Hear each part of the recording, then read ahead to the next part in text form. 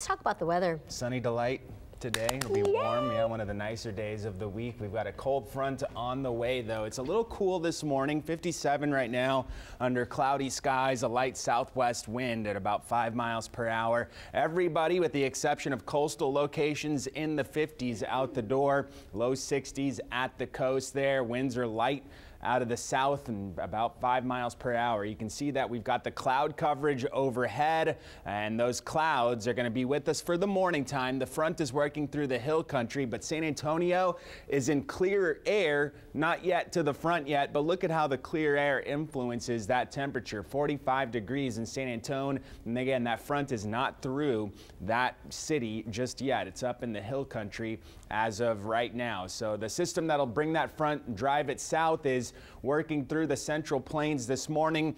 A little dip or trough in the jet stream will swing across the central part of the U.S. and be over the east side of the country by Friday. That's going to promote northwesterly flow, and this setup is oftentimes fantastic for us if you like sunshine and we're going to get a lot of it here in the coming days. So we're going to have a sunny delight today. That system that's in the central plains moves off to the east. That drops the front in brings colder air. We're going to be sunny cooler and breezy on wednesday. Thursday and friday look at my chops ready to get out. It's going to be nice. It'll be cool. It'll be cold in the morning, cool in the afternoon, but high pressure sitting over us both of those days uh, is going to make the winds very relaxed. And then milder here by Friday. It will be a sunny delight, high of around 70 that day. Uh, but again, cold mornings, cool afternoons, especially tomorrow, 59 the high, and then mid 30s Wednesday night into Thursday morning. Another night of 30s Thursday into Friday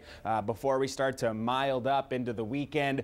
Uh, but again, it's going to be, I think, pretty nice here despite the cooler temperatures arriving. The front comes in around 8 tonight. It will be breezy tomorrow morning, especially 20 to 25 mile per hour north winds, and it'll stay breezy all day long here for Wednesday. Today, it will be sunny. Futurecast is throwing a hint of rain out, but I think it's going to stay on the sunny side here uh, with temperatures in the low 80s this afternoon. The front comes in a little after sunset, and temperatures then respond accordingly into the middle and upper 40s 40s with gusty winds first thing tomorrow morning, and then we only manage the upper 50s here tomorrow afternoon. As far as the commentary goes, 83 today, 59 tomorrow. I've already seen it. We're talking about the cold front on social media, and someone says, oh, it's 30 degrees over here. That's not cold.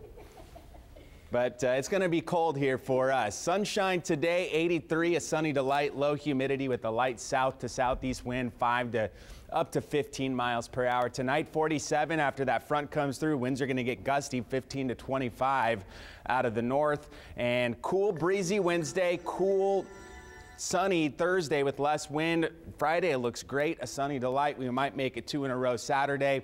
And again, 70s into the weekend with a few more clouds. Barbie.